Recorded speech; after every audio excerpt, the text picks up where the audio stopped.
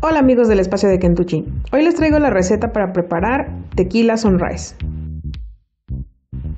Los ingredientes que vamos a utilizar son jugo de naranja, puede ser natural o de tetrapac, hielo, granadina y tequila.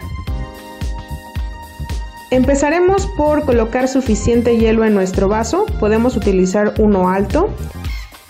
Las cantidades exactas de ingredientes te las dejo en la cajita de información. Después vamos a agregar 60 mililitros de tequila y llenaremos a tope con el jugo de naranja nuestro vaso.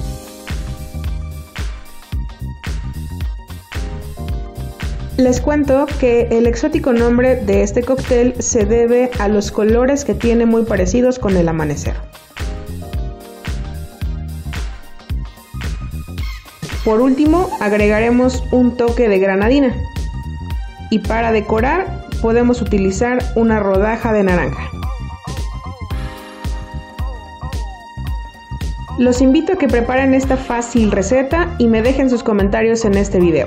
Hasta la próxima.